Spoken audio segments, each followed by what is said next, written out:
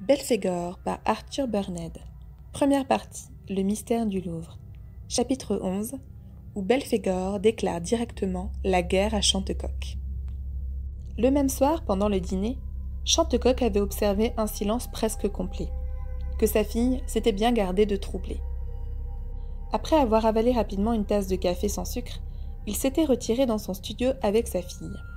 L'histoire du vieux Louvre était restée sur sa table de travail. Il la considéra d'un air dédaigneux, et s'en fut classé dans un des rayons de la bibliothèque le livre, désormais pour lui inutile. Et tandis que Colette, assise à sa place habituelle, parcourait les journaux du soir, il s'installait devant son bureau en murmurant. Et maintenant à l'ouvrage. Chantecoq prit dans le tiroir du meuble les deux messages signés Belphégor, et les lisait et relisait avec une extrême attention. Puis s'emparant de sa loupe, il se mit à scruter, à analyser tous les détails de cette écriture, lettre par lettre, avec le même soin qu'un graphologue professionnel. Bientôt, le visage du grand limier trahit une assez vive surprise. Ouvrant de nouveau le tiroir, il y plongea la main et en retira le petit bleu dans lequel Jacques Bellegarde s'excusait de ne pouvoir se rendre chez lui à l'heure dite. Il le déposa à côté des deux messages de Belphégor et se livra sur lui, toujours à l'aide de sa loupe, à un examen aussi minutieux que le précédent. Quand il eut terminé, il semblait troublé, inquiet, indécis. C'est étrange, fit-il, très étrange. Colette releva la tête. Qu'y a-t-il demanda-t-elle. Viens voir. La jeune fille se leva, et tout en lui désignant les trois documents étalés devant lui, Chantecoq reprit. Tu vois ces trois messages? L'un m'a été adressé par Jacques Bellegarde. Je le connais, soulignait Colette. Les deux autres ont été envoyés par Belphégor. Par Belphégor? Parfaitement. Celui-ci à Jacques Bellegarde, celui-là à Madame Simone Desroches. Je te demande de les lire tous les trois, lentement, posément.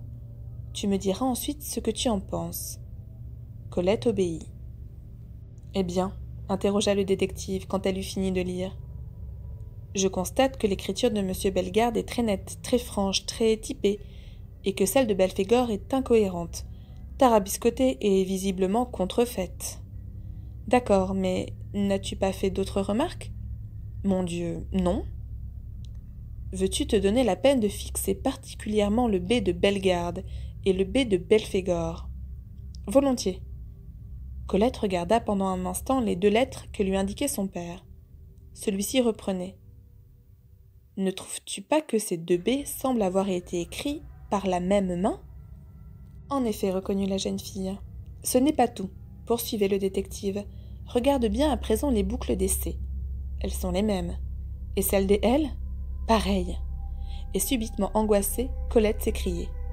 Père Soupçonnerais-tu monsieur Bellegarde? Le détective garda le silence. C'est impossible, protestait la jeune fille avec force. Tu pas dit toi-même que le fantôme avait voulu frapper M. Bellegarde? Parfaitement. Et alors? Je n'affirme rien. Je constate simplement que son écriture et celle de Belphégor ont de frappantes analogies. Avec émotion, Colette reprenait. Qui te dit que Belphégor, quand il lui était si facile d'employer pour sa correspondance une machine à écrire, n'a pas cherché à imiter l'écriture de M. Jacques? Dans quel dessin? Mais pour faire dévier sur lui les recherches de la police? C'est précisément ce que je voulais te faire déclarer, s'écriait le grand détective. Alors tu es de mon avis? Entièrement. Oh, que je suis contente. Et moi donc, appuyait Chantecoq, car cette découverte circonscrit singulièrement le champ de mes investigations. Et une flamme dans le regard, il martela. Cela nous prouve, péremptoirement, que Belphégor connaît Bellegarde c'est donc dans l'entourage de celui-ci que je dois commencer immédiatement mes recherches. Très satisfait de la découverte qu'il venait de faire et qui allait peut-être lui servir de fil d'Ariane dans le labyrinthe où il s'engageait, le limier poursuivit.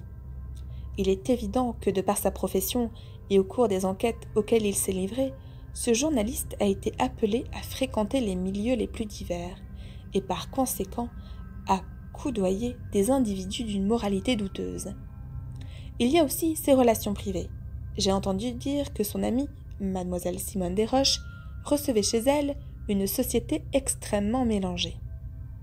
Sans s'apercevoir qu'au nom de Simone Desroches, sa fille n'avait pu réprimer un geste de dépit, Shortcock, tout à son sujet, continuait. C'est donc de ce côté. Mais le grand limier n'acheva pas. La vitre de l'une des fenêtres de son studio venait de voler en éclats, et un galéron, autour duquel une lettre était solidement fixée, s'en va rouler au pied de Colette. D'un bond, Chantecoq s'élança vers la fenêtre, qu'il ouvrait précipitamment. Le petit jardin au milieu duquel s'élevait la villa était désert. Mais il lui sembla qu'une ombre filait rapidement dans l'allée de Verzy, et se confondait promptement avec les ténèbres. S'élancer sur les traces de cet inconnu, tel fut le premier mouvement du détective. Mais il réfléchit que ce serait une perte de temps inutile. Non seulement l'agresseur avait sur lui une grande avance, mais il devait encore avoir pris ses précautions pour échapper à une probable poursuite. Chantecoq referma donc la fenêtre et s'en revint vers Colette, qui avait ramassé le galet et le tendait à son père. Celui-ci s'en empara et dénoua la ficelle très solide et très serrée qui liait la lettre au projectile improvisé. Elle portait son adresse. Il décacheta l'enveloppe et lut ce qui suit. Monsieur Chantecoq, un bon conseil. Cessez de vous occuper de moi, ou il vous arrivera malheur, ainsi qu'à votre fille, Belphégor. Chantecoq s'écriait. Ça, c'est le comble de l'audace. Et les yeux étincelants, il scanda. Eh bien, nous allons voir. Mais son regard s'arrêta sur son enfant. Aussitôt, une expression de subite angoisse se répandit sur son masque si énergique et si volontaire. Qu'as-tu, père? interrogeait Colette, qui avait gardé tout son sang-froid, et paraissait toute surprise du trouble que manifestait son père. Chantecoq ne lui répondit pas. Tu sembles préoccupé, reprenait la jeune fille. Je suppose cependant que les menaces de ce Belphégor te laissent indifférent. S'il ne s'agissait que de moi, reprenait le détective, je ne ferais qu'en rire, mais il y a toi. J'en ris moi aussi. Je connais ta bravoure, et je sais qu'elle est à l'abri de toute défaillance. Ne suis-je pas ta fille? Avec un accent de paternelle tendresse, Chantecoq s'écriait, en attirant Colette contre lui. Tu sais bien que tu es tout pour moi. S'il t'arrivait malheur, ma chérie, ce serait la fin de mon existence. Colette protestait.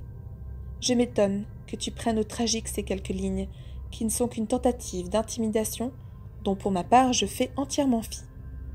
Tu as tort, ma chérie, de considérer cette menace aussi à la légère. Pourquoi? Mon flair m'avertit que nous avons affaire à un misérable qui ne reculera devant rien pour assurer son impunité. Et le grand chantecoq s'effacerait devant lui? Il y a toi d'abord. Ah le gredin Comme il doit bien me connaître, puisqu'il a tout de suite trouvé le défaut de ma cuirasse. Père, tu te dois, avant tout, à ton œuvre, à ta tâche. Rappelle-toi, ma chérie, qu'au moment de nous quitter pour toujours, ta pauvre mère m'a fait jurer de la remplacer à tes côtés. Comme elle m'a fait jurer de veiller sans cesse sur toi. Ma petite. Père, je ne te reconnais plus, s'écriait Colette, dont le visage resplendissait d'un véritable héroïsme. Je te le répète, tu ne peux pas, tu ne dois pas renoncer à ta lutte, surtout au moment où tu commences à voir clair dans les ténèbres. Et puis, n'as-tu pas déjà, comme moi, la conviction que Belphégor cherche à faire planer les soupçons sur un innocent Et nous laisserions ce bandit accomplir jusqu'au bout son œuvre infâme? C'est impossible. Père, je t'en prie, je t'en supplie.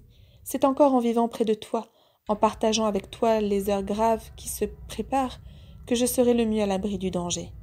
Oui, laisse-moi me battre à tes côtés, laisse-moi partager avec toi l'honneur de ton infaillible victoire. Eh bien, soit, s'écriait Chantecoq, tout frémissant de la fierté que lui inspirait l'attitude de sa fille et il ajouta, tout en déposant sur le front de Colette le plus tendre des baisers.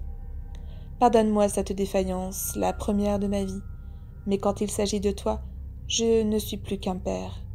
Moi aussi je t'aime tant, mais il me semble que je t'aurais moins aimé si tu avais cédé à Belphégor. Sois tranquille, affirmait le détective qui avait reconquis toute son énergie. Maintenant, grâce à toi, je me sens plus fort que jamais. Ce misérable qui ose s'attaquer à toi, je l'attends de pied ferme un homme prévenu en vaut deux. Tout en nous tenant sur nos gardes, nous le forcerons bien à se démasquer. Et alors? Alors, fit Colette, en un grand cri d'espérance, Chantecoq sera encore vainqueur. Belphégor par Arthur Berned. Première partie Le mystère du Louvre. Chapitre 12 Où le fantôme reparaît.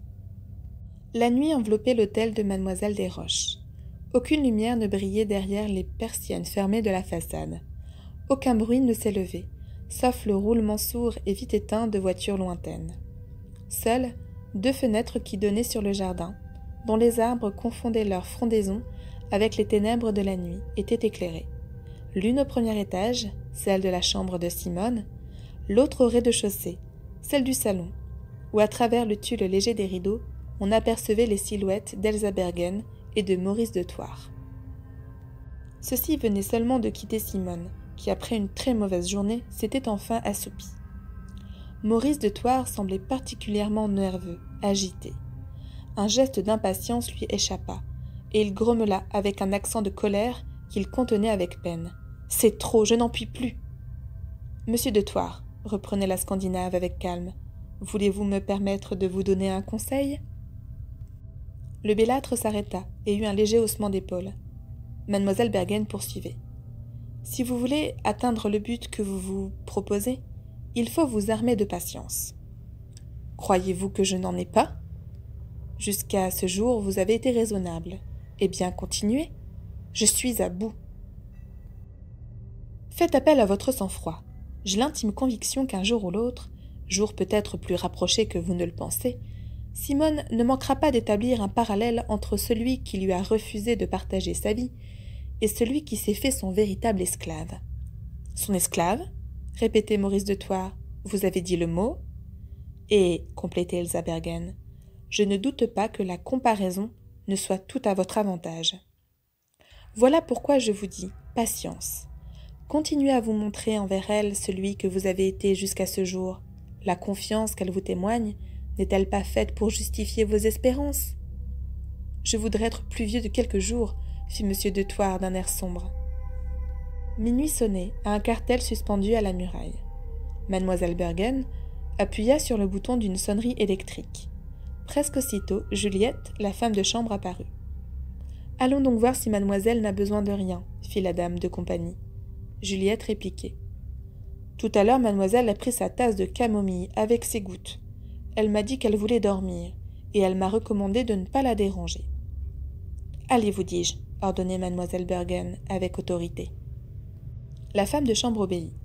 Après avoir gravi l'escalier, elle s'en fut entrebâiller doucement la porte de mademoiselle Desroches et jeta un regard dans la chambre discrètement éclairée par la lueur d'une veilleuse. Simone, étendue sur son lit, dormait profondément. Au même moment, une scène étrange se déroulait dans le jardin de l'hôtel. Surgissant d'un bosquet, une ombre se glissait derrière les arbres et cette ombre était le fantôme du Louvre.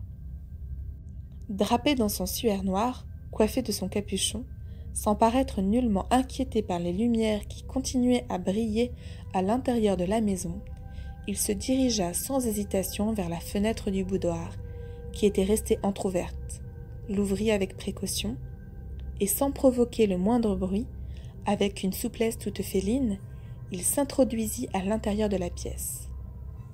Démasquant le volet d'une lanterne qu'il tenait à la main, il s'approcha à pas de loup du secrétaire dans lequel mademoiselle Desroches avait enfoui la correspondance de Jacques, introduisit dans la serrure un crochet de forme bizarre, le tourna et le retourna à plusieurs reprises sans faire entendre le moindre grincement. Au bout de quelques secondes, le bâton cédait. Alors, s'avançant, la main, le fantôme s'empara des lettres que Simone avait déposées sur une planchette, lorsqu'une voix qui s'élevait dans la pièce voisine le cloua sur place. C'était Juliette qui revenait annoncer à Elsa Bergen. Mademoiselle repose, et je n'ai pas voulu la réveiller. Toujours à pas feutrés, le fantôme se dirigea vers la fenêtre. Mais dans sa retraite, il heurta un petit meuble qui tomba en entraînant une potiche qui se brisa avec fracas. Dans le salon, surpris par ce tapage intempestif, Maurice de Thouars, mademoiselle Bergen et la femme de chambre, qui allait se retirer, eurent un sursaut simultané. Il y a quelqu'un dans cette pièce? fit la Scandinave, tandis que Maurice de Thouars se précipitait vers la porte du boudoir et l'ouvrait toute grande. Un cri lui échappa. Il venait d'apercevoir, éclairé, trahi par la tramée lumineuse que projetait le lustre du salon, le fantôme en train d'escalader le rebord de la fenêtre. Courageusement, il s'élança vers lui. Pas assez vite cependant pour entraver la fuite du mystérieux personnage. Ainsi que mademoiselle Bergen et Juliette, qui l'avaient rejoint, il eut le temps d'apercevoir le fantôme se faufiler le long de la maison. Les deux femmes, terrifiées, eurent une exclamation d'épouvante. Monsieur de Thouars, sortant un revolver de sa poche, tirait une première balle dans la direction du fantôme, qui, traversant d'un bond une allée, disparut derrière un buisson rapproché. Le jeune homme se précipita au dehors, laissant seules les deux femmes, qui, en proie à une vive frayeur, étaient restées figées sur place. Les chiens du voisinage faisaient entendre de furieux aboiements. Aux lucarnes des étages supérieurs, des domestiques apparaissaient, brusquement réveillés dans leur premier sommeil. Monsieur de Thouars, décidé à ne pas laisser échapper le malfaiteur, s'approchait du bosquet dans lequel il l'avait vu disparaître, et tirait de nouveau coups de revolver à travers le taillis touffu où il supposait que le fantôme devait toujours se tenir caché. Le chauffeur qui couchait dans une petite chambre attenante au garage près de l'atelier accourait simplement vêtu d'un pantalon et d'une chemise, et pénétrait dans le buisson avec Maurice de Thouars, sans y rencontrer d'ailleurs aucune trace du mystérieux bandit, qui, une fois de plus, semblait s'être évaporé. Le jardinier, le valet de chambre, le cuisinier, qui était accouru, se joignaient à eux, improvisant une battue aux alentours. Dans le boudoir, mademoiselle Bergen, retrouvant ses esprits, s'efforçait de rassurer la femme de chambre qui, épouvantée, s'exclamait Au secours, j'ai peur, j'ai peur. Mais brusquement la porte s'ouvrait. Pâle, échevelée, la figure hagarde, tragique, en son déshabillé de nuit, qui la faisait paraître plus pâle encore, Simone se précipitait vers Elsa Bergen et se réfugiait dans ses bras et d'une voix saccadée, avec un accent d'indicible épouvante, elle s'écriait Le fantôme Je viens de le voir de ma fenêtre qui traversait le jardin. Oui, c'est lui, c'est lui, répétait Juliette, prête à défaillir. Calmez-vous, ma chère enfant, disait mademoiselle Bergen à Simone, tout en l'aidant à s'asseoir sur le divan. De nouveaux coups de feu retentissaient au dehors. Des pas précipités se faisaient entendre dans le jardin, où dansait la lueur des lanternes qu'avaient allumées les domestiques. Les aboiements des chiens redoublaient, dominant par instant la voix de Maurice de Thouars qui ordonnait Pierre, cherchez là-bas, près du mur. Vous, Louis, regardez dans les arbres. Albert, allez voir si la petite porte est ouverte. Tremblante, fiévreuse, haletante, affolée, Simone, qui avait saisi la main d'Elsa et celle de Juliette, répétait en claquant des dents Le fantôme Le fantôme Mais soudain son regard s'agrandit encore. Il venait de se poser sur le secrétaire. D'un seul mouvement, Simone se leva, et avant qu'Elsa Bergen ait pu la retenir, elle se dirigea vers le meuble, qui était resté entr'ouvert. Elle se pencha, chercha et s'écria. Les lettres de Jacques. On a volé les lettres de Jacques. La demoiselle de compagnie et la femme de chambre la reçurent dans leurs bras. Sa tête se renversa en arrière. Ses lèvres s'entr'ouvrirent pour exhaler une plainte, un sanglot. Maurice de Thouars reparaissait, son revolver à la main. Derrière lui se profilaient les silhouettes du chauffeur et du gardien. Simone? s'écria-t-il avec angoisse. Il allait s'élancer, mais d'un geste mademoiselle Bergen le retint. Et le fantôme? demanda-t-elle, tandis que, figée de peur, la femme de chambre n'osait faire un mouvement. Gravement, M. de Toit répondit. Il a disparu.